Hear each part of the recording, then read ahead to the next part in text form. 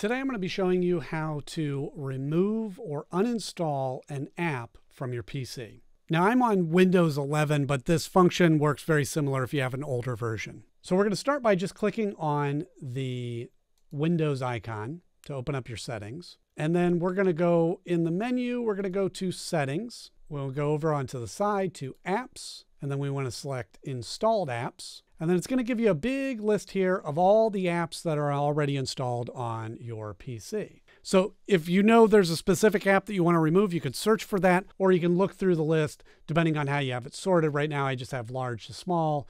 You can also do like the date it's installed. And then once you find the app that you want to remove, in my case, I'm going to remove CapCut.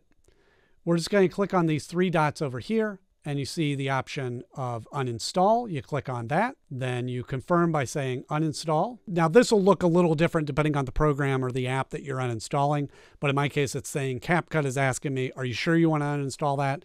And then I just say, Okay. And then it just takes a little bit for it to uninstall. And then up here, like at CapCut, it says complete.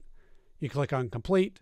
And that's it. Now you can see that in my list of apps here, it doesn't appear, meaning that it's been completely uninstalled and removed from my computer. I hope you found this helpful, and I'll see you in the next one.